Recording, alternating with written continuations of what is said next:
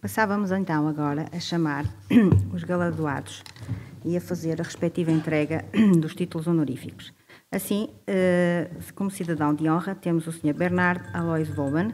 Iria chamar, portanto, o Sr. Engenheiro Laranjeira, Francisco Laranjeira, Diretor-Geral da Inercom em Portugal, para, eh, para receber o galardão, uma vez que o Sr. Voban não se pôde deslocar aqui a Viana do Castelo e virá posteriormente, onde se lhe dará entregue, portanto, a medalha de honra, posteriormente, na, na altura da primavera. E pedi ao Sr. Presidente o favor de a entregar.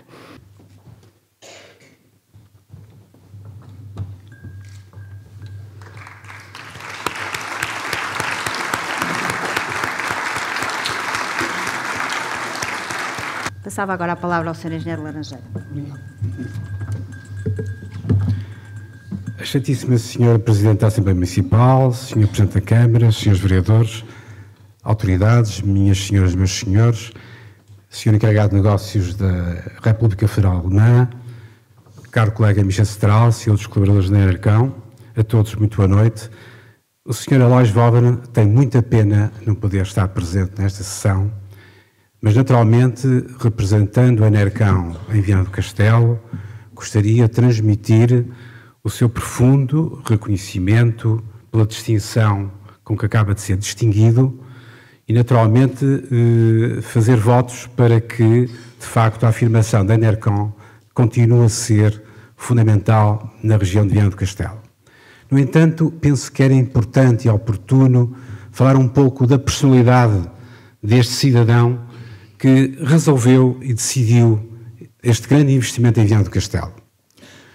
O Sr. Vauban é fundamentalmente um cientista brilhante, reconhecido na comunidade internacional, mas é simultaneamente também um empreendedor da excelência que no mundo económico e empresarial é bem reconhecido. Ou seja, é talvez o que diríamos muitas vezes um visionário, um homem de desenvolvimento, de pesquisa, de inovação, mas que tenha capacidade de transformar as suas ideias em processo produtivo industrial, naturalmente enriquecendo a humanidade. Mas qual é a relação que ele tem com Viena tão querida que levou a que esta autarquia tivesse distinguido nesta sessão a sua importância como cidadão de honra desta cidade? Eu recordo que o Sr. Voven começou a calcorrear Viana há 10 anos, sensivelmente 10 anos. Estávamos em novembro de 2004 e assinou em Viana do Castelo, nessa altura, um protocolo para a definição dos terrenos a subconcessionar, onde são hoje parte dos estaleiros navais. Nessa cerimónia esteve presente, recordo na altura, o Ministro da Defesa e dos Assuntos do Mar, eh, Paulo Portas, bem como também o Instituto Portuário dos Transportes Marítimos, a Administração dos Estaleiros, Autarquia. Voltou em 2006, em outubro, para assinar o contrato com o governo, que foi o seu compromisso de fazer este projeto em Viana do Castelo. Mas como era um homem que gostava de acompanhar os seus projetos, volta em maio de 2007, acompanhando a construção da primeira fábrica, onde visitou Viana, Lanheses, onde na altura o Sr. Engenheiro José Maria, como vereador que acompanhava este projeto, teve também a oportunidade de fazer nessa visita de trabalho uma balanço àquilo que ia ser e que estava a ser desenhado o projeto. Voltou em novembro de 2007 para a inauguração da primeira fábrica com a presença do primeiro-ministro José Sócrates. Retomou no ano seguinte duas visitas também ao longo do ano para visitar as obras e finalmente em novembro de 2008 para finalizar as últimas fábricas entrada em funcionamento. Em dois anos este projeto foi cumprido. Eu diria que é exemplar e é também de uma referência à autarquia, o trabalho conjunto que foi possível fazer, ultrapassando diferentes obstáculos para que este projeto se afirmasse. A empresa tem sido reconhecida em termos nacionais e internacionais pela sua dinâmica e pelos seus resultados. A empresa Exame considerou a empresa do ano eh, recentemente.